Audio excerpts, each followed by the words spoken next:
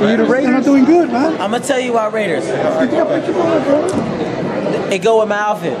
That's a good answer. Now, Adrien, everybody's telling me you're pound for pound.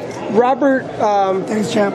Bunny told me, I asked him who the top five fighters in the world. He Yeah, said bro. Broner times four and one Seen 'em all. Mayweather. What is it? How does it feel like when people say you're one of the best in the world in what you do? A dream come true. You know, I, I dreamed of this, and now I'm living my dream. So all that, all there is left to do is, is to keep training hard. That's it. When I talk to your people who train with you at the gym, everybody always told me you have a great sense of humor. But you showed it in that press conference with the one-liners, like one that sticks in my mind. I hate losing. I hate losing. I even hate losing weight. How do you come up with the, these lines? I don't know. Uh, God gave me a gift, and I'm using it. and I'm not abusing it. You know, uh, this is just me.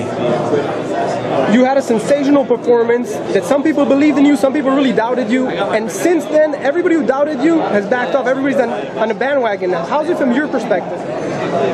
Um, This is what I wanted.